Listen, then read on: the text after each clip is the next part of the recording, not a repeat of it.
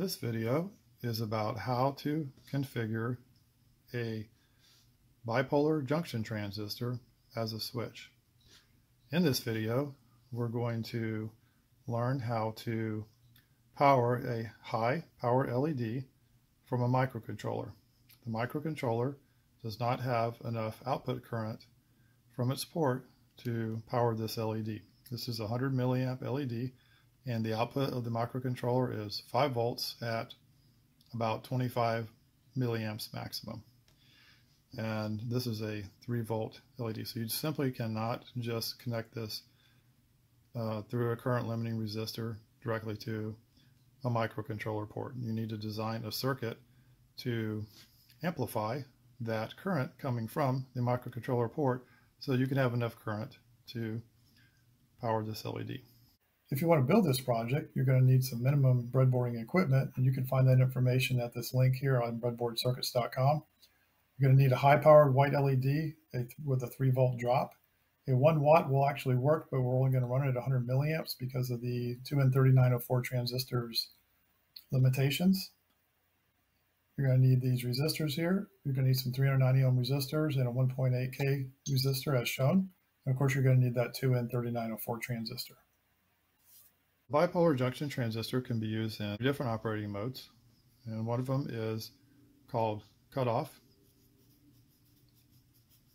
where the transistor basically acts as an open switch. You have it's an open circuit. That would be when this LED is turned off. You have saturation, where you have basically this the equivalent of a closed switch where the LED would be on.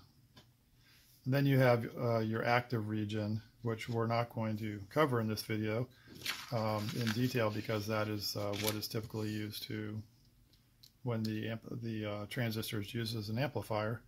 But essentially what that is, is the transistor is, this is an NPN transistor. You have your base current, you have your collector current, and then the transistor has a gain of, say, 100. That would that is what makes a transistor an amplifier is the fact that it has what is known as a gain. It's also known as beta or HFE. The collector current is so if you have 1 milliamp of base current and a gain of 100, then your collector current can be only 100 milliamps. This is when this is used in its active mode.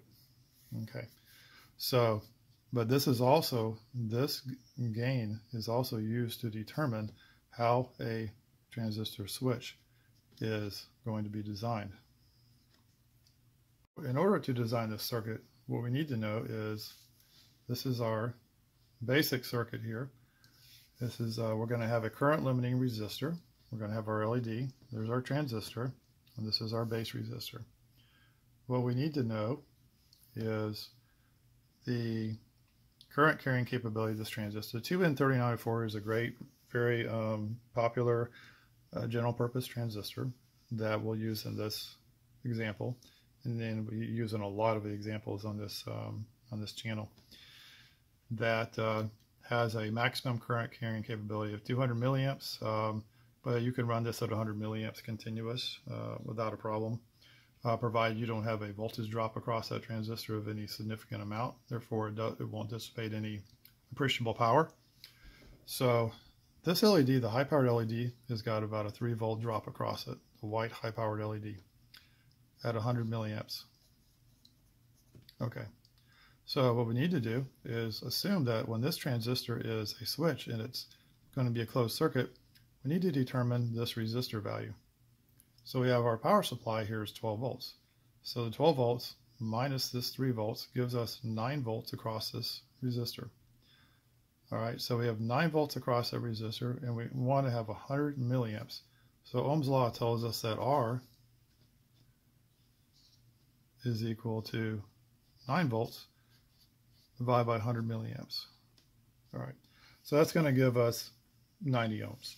All right, so so for this example, um, that's 90 ohms. We need to have a we want to have a 90 ohm resistor here. Well, okay, so a common value resistor is 91 ohms. However, um, for experimental purposes, uh, most people don't have in their uh, bins a lot of high wattage resistors. Plenty of one quarter watt resistors.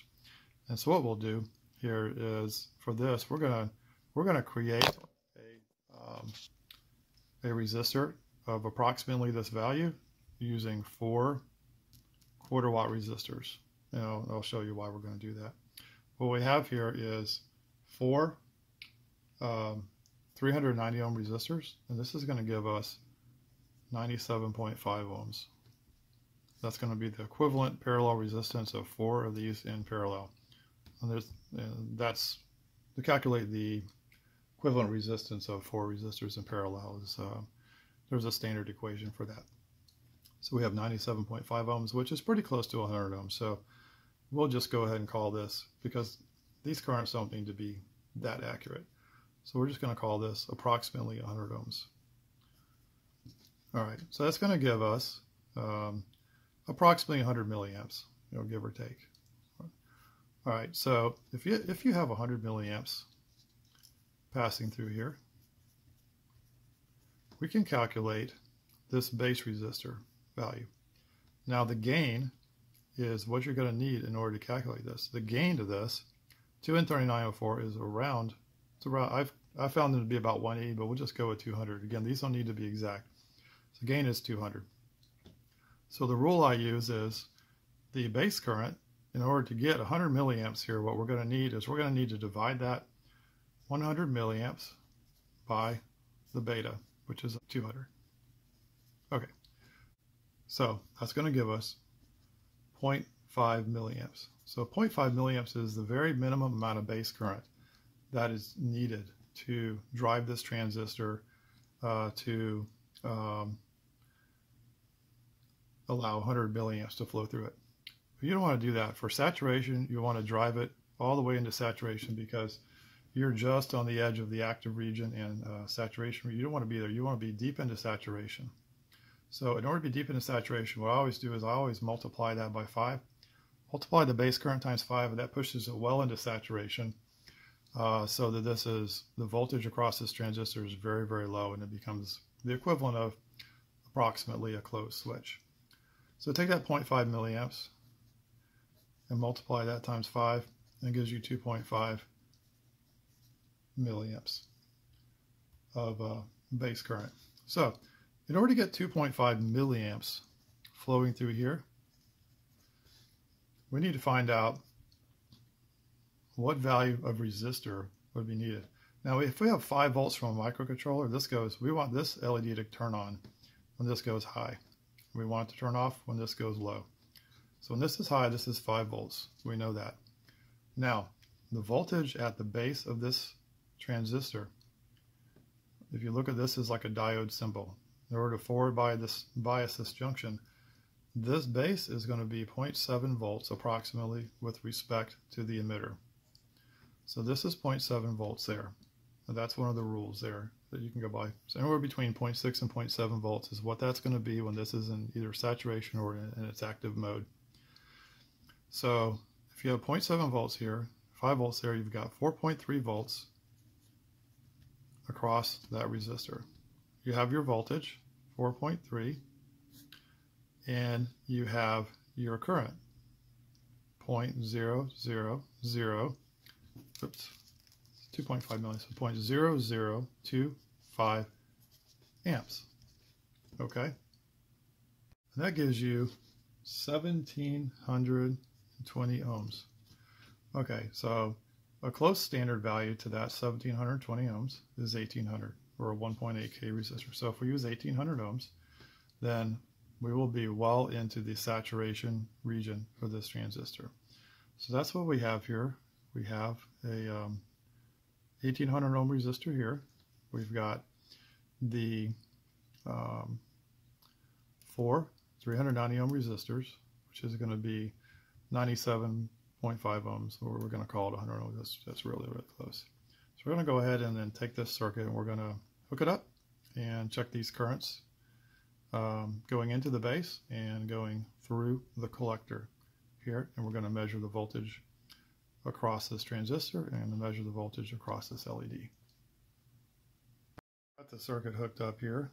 And uh, one thing I did forget to mention was why we put these four resistors in parallel. The reason is because we're going to have 100 milliamps going through this, what is now 100 ohms.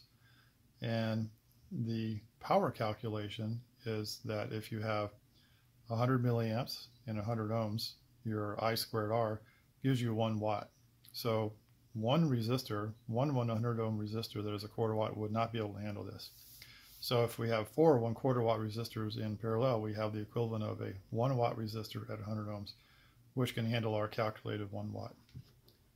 So we have a current meter over here that's going to give us the base current, which we calculated to be around 2.5 milliamps. So we should have about 2.5 milliamps here. Can't read that. Okay, 2.5 milliamps here on this side. over here we should have our approximate, this is connected to through um, in line with the LED and the current limiting resistance. We should have our, we calculated to be about 100 milliamps. Um, now these values are probably going to be different because the voltage across the LED is probably not going to be 3 volts. We fudge the values here a little bit just to have, so we could find our standard resistor values. So let's go ahead and turn the circuit on and see what we get. I'm going to use this backlight here to make it a little easier. It's probably going to go off after 30 seconds, but let's go ahead and turn this on. So I've turned this on. We got 5 volts here. We've got 2.3 milliamps there. It's pretty close to our 2.5 milliamps. We've got 90 milliamps here. All right, so that's 90 milliamps going through the LED. All right, so that's pretty close to what we would expect. Now let's go ahead and put this, this is a voltmeter here. I hope you can read that It's not very legible in this light, but um, so anyway, we're going to measure the voltage across the transistor when it's in saturation, the voltage from the collector to the emitter. And we should get across that transistor, we're getting 2.5 or 0.25 volts. So it's really, really low, the voltage across the transistor. It's being used as a switch and it really should be very low. The voltage across the LED we calculated, well, based on the data sheet, we should be getting about 3 volts across it. And we're actually getting 2.88 volts, which is really close, 2.8 volts. So that was the basis uh, by which we used to uh, calculate our collector current and the voltage across the um, the resistors. So that's pretty close. And uh, that's basically it.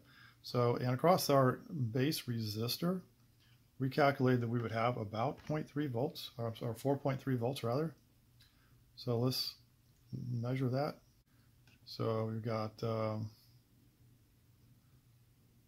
4.12, 4.13 volts across that resistor there. Now, the last voltage we're going to measure here is going to be the voltage at the base of the transistor.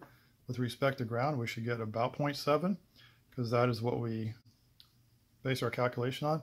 This is driven hard into saturation, so it's actually 0.86 volts, which is okay. It's driven hard into saturation, so we're making sure that this is saturated. So those are the voltage readings, uh, and our circuit's working great. And so we effectively are simulating the microcontroller supplying 5 volts to the base of this transistor through a resistor um, and being able to control and um, turn on an LED that draws 100 milliamps at 3 volts using the um, very, very small available current from the output of a microcontroller. I hope you found this video interesting and informative. If you did, please like this video and subscribe to this channel. For more detailed information on this project, as well as recommended breadboarding equipment, best practices, and safety tips, please go to breadboardcircuits.com. Thank you.